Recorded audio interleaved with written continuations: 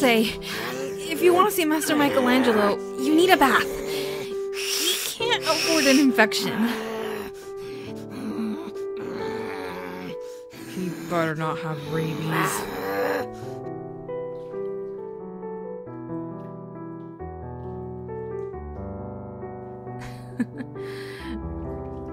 I'm honestly not sure if that's adorable or terrifying.